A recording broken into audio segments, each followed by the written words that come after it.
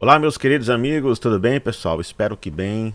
Uma excelente semana para todos vocês, tá certo? Nesse vídeo, vamos comentar a visita de Joe Biden à Ucrânia. Isso mesmo, uma visita de surpresa, ao que tudo indicava. Ele iria ali para Polônia, ia para outros lugares ali perto, mas ele acabou chegando hoje em Kiev. No momento que eu estou gravando esse vídeo, ele já saiu de lá, ficou em torno de seis horas por lá. Macron também deu uma declaração aí é, forte e que demonstra que os países estão unidos com a Ucrânia e vão até o final disso. Como será o final disso? Só Deus sabe. Peço a você que dê o seu like, que compartilhe esse vídeo, se inscreva no canal aí e ative as notificações, tá bom? Pessoal, chegamos aqui, ó, só um recadinho rápido, na semana que eu prometi para vocês. Esta é a semana da perícia, isso mesmo. Então você sabia que existe uma área no Brasil que está implorando por profissionais? Esta é a área da perícia, pessoal. Por isso que eu trouxe aqui para vocês. Então nós chegamos na semana da perícia. Ó. Só em São Paulo são mais de, de 5 mil casos que estão parados por falta de perito. Então imagina a quantidade no Brasil inteiro. Então imagina as oportunidades que você pode ter nessa área da perícia, não é mesmo? Só para você ter noção, a hora do perito pode chegar a custar 510 reais, isso mesmo, a hora. Então eu trouxe aqui o meu amigo Danilo, que é perito, e ele forma os peritos. Olha que importante, né? E o mais interessante é que você não precisa ter faculdade, não precisa prestar um concurso público para ser perito. Eu também não sabia disso, fiquei sabendo agora, recentemente, tá certo? É possível. Então no final desse vídeo aqui, preste atenção, fica até o final. O Danilo vai falar com vocês, tá bom? Combinado? Então bora aqui pro nosso vídeo. Vamos lá? Olha só, vamos começar pelo Macronzinho. Macron, ele... Estou aqui no Hoje no Mundo Militar. Macron afirma que não pode haver paz na Ucrânia até que a Rússia seja derrotada. Teve uma conferência de segurança lá em Munique, na, na Alemanha, e o Macron ele deu essa declaração, né? É, então, rapidinho aqui, não vou ler completamente. Você pode acessar lá o hoje no mundo militar.com.br. Teve a conferência de segurança em Munique que aconteceu do dia 17 até o dia 19 de fevereiro. É uma conferência anual que trata da política e segurança internacional, né? desde 1963. O foco foi o que deste ano? Lógico, a invasão da Ucrânia feita pela, pela Rússia, tá certo? Além da questão chinesa envolvendo o balão espião que os Estados Unidos abateram. Ela também contou com representantes de 96 países diferentes. Aí teve o Zelensky, o Scholz e o Macron abrindo é, esta conferência na sexta-feira, tá certo? É, lá, lá, nós vimos também é, a Kamala Harris falando, Anthony Blinken, né? teve o, o, diplomata da China, o Yang Yi, e o chefe da OTAN, Jens Stoltenberg. Né?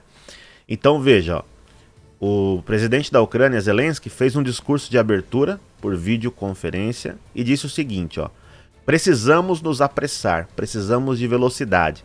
Velocidade de nossos acordos, velocidade de entrega, velocidade de decisões para limitar o potencial russo. Não há alternativa à velocidade, porque é a velocidade da qual a vida depende. E o Zelensky, nesse encontro que teve com o Joe Biden, eu vou mostrar para vocês. Né? Foi até o tema desse vídeo aqui. Se a China estiver, então quer dizer que é uma guerra mundial. Né? Se a China estiver ajudando a Rússia. Olha só. Bom, o Macron é, disse o seguinte: a hora do diálogo ainda não chegou, porque a Rússia escolheu a guerra. A Rússia escolheu atacar a infraestrutura civil e cometer crimes de guerra. O ataque da Rússia deve falhar, né? Bom, a Kamala Harris, né, os Estados Unidos já disse que é, está definido que a Rússia ela cometeu crimes de guerra. Então eles bateram o um martelo. Então vão tentar condená-los de todas as formas aí. Agora veja, o Biden chega a Kiev para uma visita surpresa no primeiro aniversário da invasão russa, que agora vai ser dia 24 de fevereiro. Né? É, ele diz, olha só o que o Daily Mail informa. O presidente Joe Biden chegou a Kiev na manhã de segunda-feira em uma surpresa, dia antes do primeiro aniversário da invasão russa na Ucrânia. e declarou que Vladimir Putin havia falhado em sua guerra de conquista. Então veja, isso aqui são retóricas, né, pessoal? Ambos os lados vão defender e falar, ó, eles, eles falharam, estão perdendo, né? Ambos os lados. Isso aqui é, é a retórica. Agora, só quem está no campo de batalha ali sabe realmente, né? Mas nós temos a noção do que está acontecendo. Não é bem assim, né? Para ambos os lados. Lembrando que essa visita de Joe Biden é um dia antes do grande discurso marcado para amanhã do Vladimir Putin. Então, o Putin, é, amanhã ele vai fazer uma declaração e vamos ver o que é que ele vai falar. Eu vou trazer aqui para vocês, tá? Bom, ó, sua visita foi envolta em sigilo. Ele chegou é, depois da longa viagem de trem da Polônia com um grupo despojado de apenas um repórter e um fotógrafo. Sirenes de ataque soaram pela capital ucraniana sitiada, embora não houvesse relatos de mísseis ou ataques aéreos russos. Ele se encontrou com o presidente Zelensky no Palácio Marinsky e anunciou meio bilhão de dólares em assistência extra, incluindo artilharia, munição, mais dardos e obuses, bem como mais sanções à Rússia. Vai sancionar ainda mais. Em seu discurso, Biden disse: Um ano depois, Kiev está de pé e a Ucrânia está de pé, a democracia permanece. Ele disse que Putin calculou mal. Disse assim: ó, o objetivo da Rússia era varrer a Ucrânia do mapa. A guerra de conquista de Putin está falhando as forças armadas da Rússia perderam metade do território que ocupavam. Né? Aqui podemos ver uma imagem dessa chegada, né? Olha lá. Visitou ali também um tem um mural ali, né, com a fotografia e os dados de soldados ucranianos que morreram nessa guerra, né? Aqui mais uma imagem, né? Olha lá. Ele chegando, olha lá, entrando. Mais imagens aqui, né? Bom, é, o pessoal está compartilhando no Twitter muitas imagens disso, né, desse fato. Olha lá, ó. aqui o Biden andando ali pela rua de Kiev junto com Zelensky, aqui você pode ver, né? Aqui o Hoje no Mundo Militar mostrou, né, ó, o presidente Zelensky agradecendo a visita de Biden hoje de manhã. Disse que a visita de Biden representa um importante sinal de apoio. Então, é ali a, a visita, o que, que significa? É dizer para o mundo inteiro e principalmente para a Rússia. Estamos com eles até o final. Né? Estamos aqui e vamos ficar. Bom, a Marjorie Taylor, Greene, ela é uma eleita agora congressista americana pelo Partido Republicano e ela disse o seguinte: isto é isso é incrivelmente insultuoso, ou seja, um insulto isso, né? Hoje, no dia do nosso presidente Joe Biden, presidente dos Estados Unidos, escolheu a Ucrânia em vez da América, enquanto forçava o povo americano, enquanto força o povo americano a pagar pelo governo e pela guerra na Ucrânia. Não consigo expressar quanto os americanos odeiam Joe Biden, né?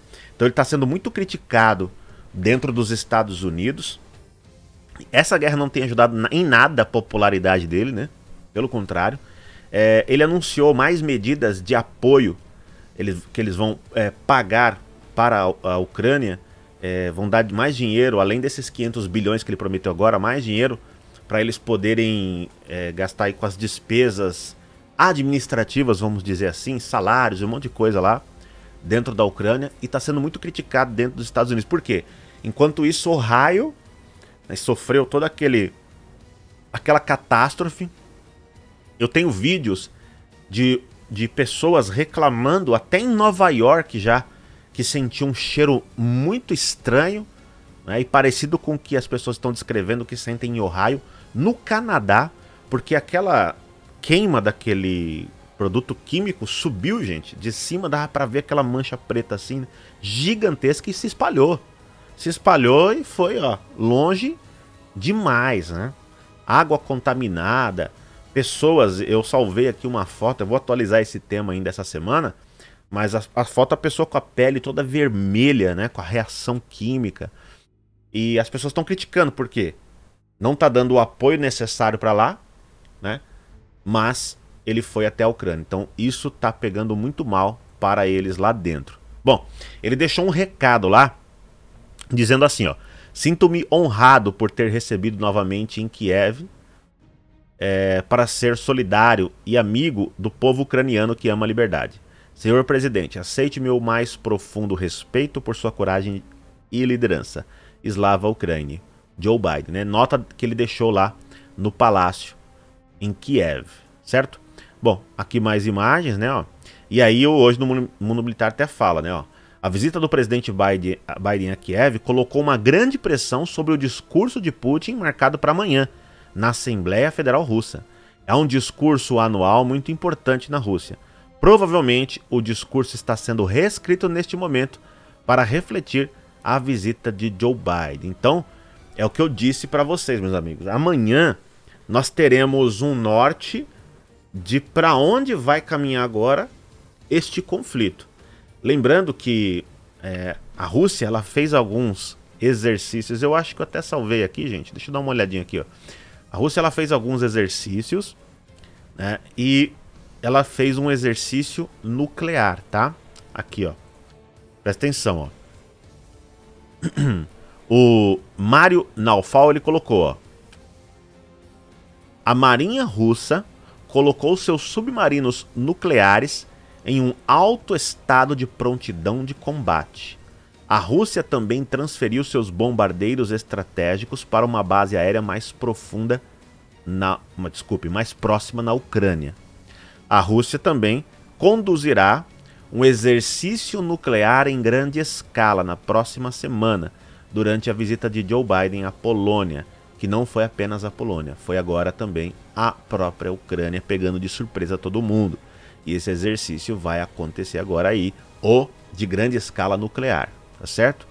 Bom, uh, muitos repórteres, né, o jornalista aqui, o Simon, pergunta, né, qual é a sua reação quanto à visita não anunciada de Biden à Ucrânia, né? E para a gente finalizar, o, até bati aqui no microfone, o Alerta News, né, ele até colocou aqui, né, ó, Zelensky, se a China continuar a apoiar a Rússia, haverá uma guerra mundial. Né? Então essa declaração vem, né, foi feita agora. É, muitas coisas nesse sentido estão sendo ditas, pessoal, não é brincadeira. Estão é, falando tanto, já abertamente, em uma guerra mundial como talvez nós nunca vimos na história recente, né? De a grande possibilidade. Por isso que muitos especialistas falam que, olha, é, nós estamos num momento mais perigoso que a Guerra Fria. Então o Zelensky diz isso. Por quê? Porque veio as informações, ou seja, tem informação, precisa o quê? Só dar prova, né? Para o mundo aí. Mas eles sabem que a China sim está, utiliza, está usando ali é, é, é, de sua amizade, vamos dizer assim, com a Rússia, está fornecendo a eles armamentos, munições e etc. Né? E aí o Zelensky falou: se a China continuar a apoiar a Rússia, então, ou seja, estão apoiando, haverá uma guerra mundial. Talvez seja por isso que a China está se preparando, estocando alimento adoidado. Eles possuem mais da metade dos grãos estocados que o mundo tem, né? É, eles também aprovaram a lei que vai entrar em vigor no dia 1 de março sobre a convocação de reservistas e há quem garanta que esta convocação, na verdade, já começou né? e vai também para as mulheres, só vai ser poupado mulher que estiver amamentando, que estiver grávida, né?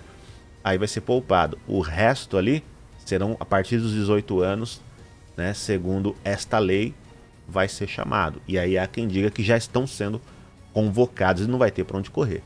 Então, o mundo vem nessa toada. Vamos dizer que os grupos, né, ali se ajuntando mais e se preparando para este final triste, né? É assim que eu digo.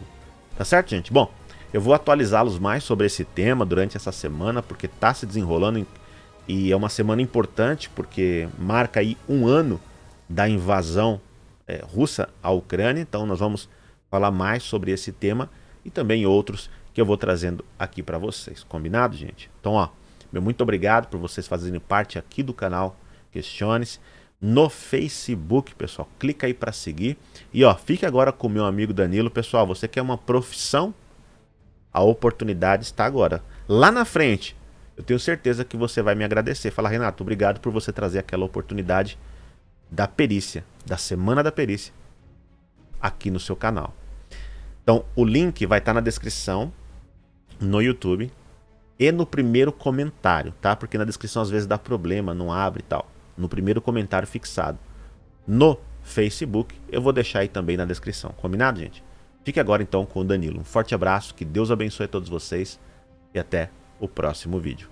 Fala pessoal, tudo bem? Eu tô aqui no canal do meu amigo Renato Barros e eu tenho uma grande oportunidade para você. Você sabia que existe uma área no Brasil que está implorando por profissionais agora? Só para você ter uma noção, são mais de 5 mil processos parados por mês por falta desse profissional, desses profissionais. Imagina no Brasil inteiro, tá? Essa é a área da perícia e da investigação. Você sabia que é possível se tornar perito ou investigador sem precisar prestar concurso público e ainda você ser muito bem remunerado? Sabe quanto? 490 reais a hora do perito ou do investigador profissional. Não importa a sua área de atuação, se você é engenheiro, porteiro, segurança, arquiteto, médico, não importa. Eu vou conseguir te mostrar o caminho detalhadamente para você entrar tanto na área da perícia como na área da investigação sem passar por toda essa burocracia. Inclusive, pouco importa a sua idade, tá? Se você está se tornando maior de idade agora ou se você tem mais de 70 anos. Eu tenho um aluno de 16 e um aluno de 71. Vários alunos, obviamente nesse intervalo de idades. E você também pode ser perito ou investigador sem precisar prestar concurso público e sem ter que ter uma faculdade específica. Tem gente que pensa que tem que ter uma graduação em engenharia, em arquitetura. Não é isso. Não importa a sua área de atuação ou se você não tem uma faculdade específica. Não importa se você é engenheiro, médico, eu vou estar explicando o passo a passo detalhado para você, inclusive dentro das legislações que você vai aprender comigo na Semana da Perícia e da Investigação. Será um evento 100% online e 100% gratuito. Clica aqui e participa. Te encontro lá. Vivemos tempos sombrios. Os inimigos da verdade tentam sufocá-la de todas as formas possíveis. Nós somos os guardiões da verdade. Nós somos a geração que mudará o Brasil. Com Deus à frente, não há o que temer. Eu sou o Renato Barros. Sejam bem-vindos ao canal Questiones.